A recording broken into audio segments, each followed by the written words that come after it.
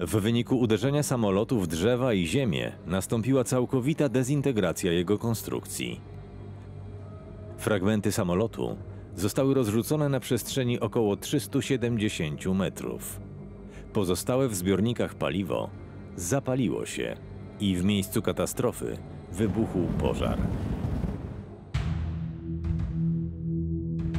Jadąc e, w kierunku lotniska ulicą Puławską, będąc jeszcze na terenie Mokotowa, oficer dyżurny przekazał, że samolot spadł. Samochody miały polecenie kierowania się w rejon Lasu Kabackiego na dym, który wszyscy jakby widzieli. Z 36. Specjalnego Pułku Lotnictwa Transportowego startuje również śmigłowiec. Mój przełożony polecił mi przelecieć w rejon tej katastrofy z konkretnym zadaniem zidentyfikowania czarnych skrzynek. Przygotowaliśmy ten śmigłowiec do startu i wystartowaliśmy. Strażacy mają problemy z dojechaniem na miejsce zdarzenia.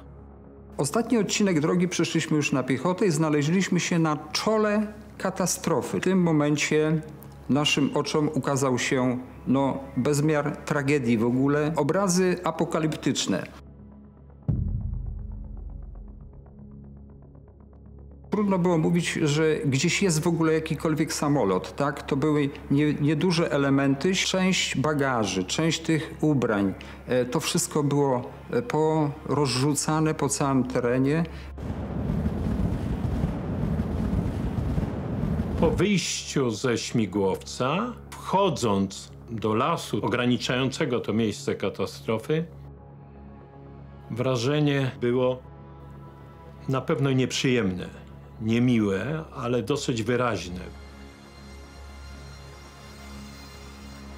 Masa ziemi, masa paliwa, masa części lotniczych, fragmentów samolotu, ale również i masa cząstek elementów ciał ludzkich.